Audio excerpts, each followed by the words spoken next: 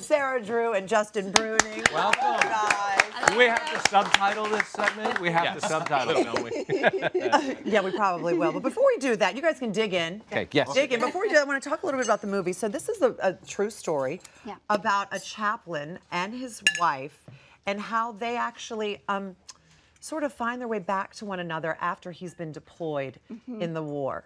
So your character has a completely different reality of what happens, as does his, which is completely understandable. Both of them have their truths, but they're just different. So tell us about your character's truth. Well, uh, she, uh, Heather Turner, is at home taking care of everything having to do with the home front. She's got three small children, so she's raising them solo while he's overseas, and she's still carrying the burden of worry for Right. her husband, the father of her children. Is he going to make it home? Is he going to come home different? We don't know. And on top of that, she's also caring for all of the families Right. as they uh, get bad news. So she has a lot that she's carrying, and when they when he comes home from his deployment, there's a lot of conflict because they've both really been through something big, but it's hard to figure out how to communicate. then Which how is a true story. This is a Yeah. this is a real life thing that what's, happens what's a lot. What's Justin, your character, Yeah. what is that take on? Well, it's uh, you know, with this this movie, it's like you got the home front and the battlefront. Right. So, and they're all going to come back together at some point in this, and where she's dealing with, you know, one of our children has uh, asthma, and um, has, she has to deal with that. I lose friends over there. I lose, Right. you know, I'm in the middle of, um, I'm sort of ill prepared to face all of that death and destruction and, and sorrow. And so he he, he's there to help others, but he has no one there to help him, which is where he should rely on his wife. Yeah. Right. Does not. yeah. But this is a real life situation that happens Mm-hmm. with a lot of military families. It's you mm-hmm. know a lot of people go through it and are still going through it as we speak. Yeah. So we have a, a really sweet clip.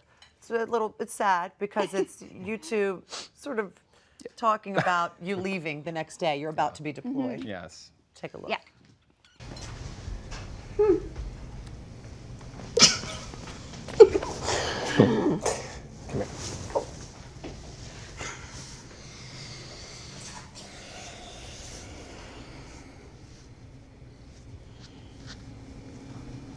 Fifteen months without this face.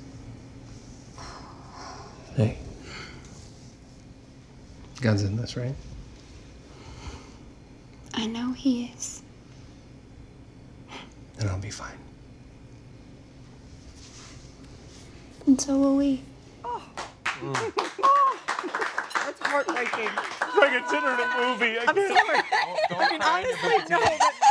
But The only thing that can make this better is carbs. Carbs! We need We got Show us how that. to make your pasta. got What do we do? He does. We got that. And I know he cooks really well. He's He cooked for you does. before. He has you. cooked this dish actually. He cooked for me and for our producer and his wife while we were on location. Nice. And it was very impressive. I have to have this, the ingredients for this have to be in my house at all times because it gets thrown on me that I have to make this for children. It's your go-to. All the So what, what's in there? What do you have in the Well, pot? I'm rendering this is guanciale, which is essentially bacon for Mark. Oh. Um, it's just fancy bacon. It's better Right. bacon. I'm not crying anymore.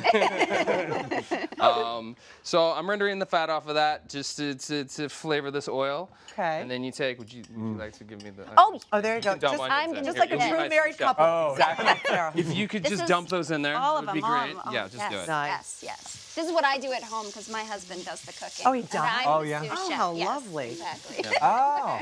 Pretty much, I do all of this at home. I'm the only one that cooking. I don't have a sous chef, so somebody Wow. has to watch my children. So yeah. Do you, are you allowed to critique his food then at home since you don't cook? Do you, I am like- not allowed to. I No, am you only just allowed to say, it. honey, thank you so much. Right, exactly. But actually, that's always honest because my husband's a really good Oh, well, there you go. Just like Justin. Peter is a very Yeah, huh? Yes. yes. Okay, so you're gonna sweat those onions. I'm gonna sweat those Sweat 'em out, out. brown omelette. This is like my favorite smell when That's you so add bacon. good. And, uh, Yeah. good. But I know that the onion is actually controversial in this dish. Oh. It is. Is, should I tell the people that originally this a onion is, Starting a riot. Is not allowed in this dish according to the Romans? Yes. Justin's the, changed it. the original recipe has uh, no onions.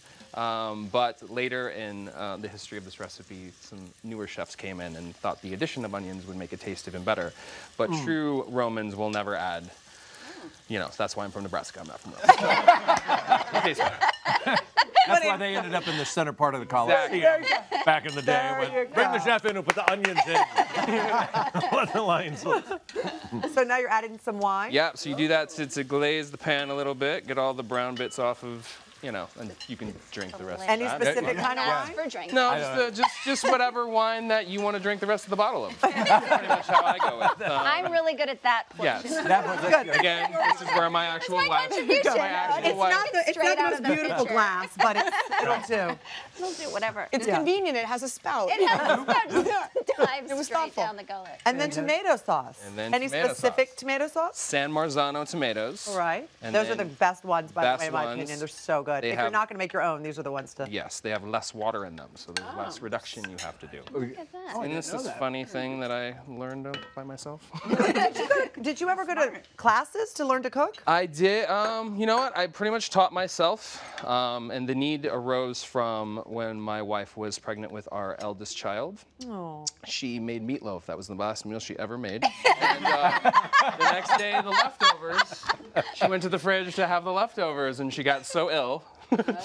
from the smell of it that I had to take over all the cooking. And um, that's when I really had to step up, which was great because I've always loved to cook.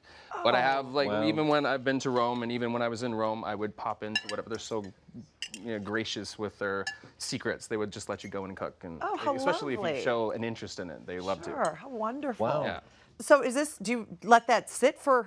We let this sit for about 10 minutes, Okay. And but you- we can do this, and there you go. Well, that's what happens around Oh, here. Yeah. you swap it out. Swaps it out. Twice as much to wash, but it gets done. it's done in no time at all. Now, how do you do your pasta? Do the pasta, you, um, I usually cook that first, but I let the water boil. And then I can make a side dish, um, a contorni, which is the sauteed broccoli with the nice. garlic Oh, and good. all I that. know, Broccolini. right? That's Broccolini. beautiful. But you can blanch the broccoli first in your pasta water. Oh. Take that out, throw it in a nice water bath so that way it, husband. it, it cools because that can Yeah. stay cold.